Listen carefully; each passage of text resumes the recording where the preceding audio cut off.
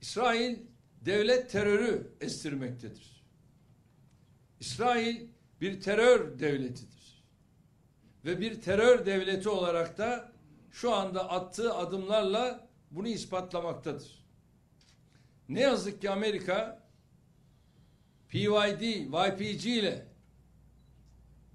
DAEŞ'e karşı mücadele ettiğini söyleyerek nasıl işbirliği yapıyorsa işte burada da ne yazık ki İsrail'le acımasız bir şekilde işbirliğine girmiştir.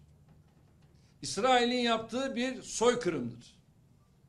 Ve bu soykırımı ilk defa bugün yapmıyor. Ta 1948'den itibaren biliyorsunuz bu işgal devam etmektedir. Saldırı haberlerini almaya başladıktan hemen sonra Sayın Başbakan'la ve diğer arkadaşlarımla görüşmeler yaptık. İstişarelerimiz neticesinde Türkiye olarak yaşanan vahşete tepkimizi ortaya koymak için bazı kararlar aldık. Filistinli kardeşlerimizle dayanışma için ülkemizde yarından başlamak üzere üç gün milli yaz ilan ettik. Ayrıca dönem başkanlığını yürüttüğümüz İslam İşbirliği Teşkilatı'nı da olağanüstü toplantıya çağırıyoruz.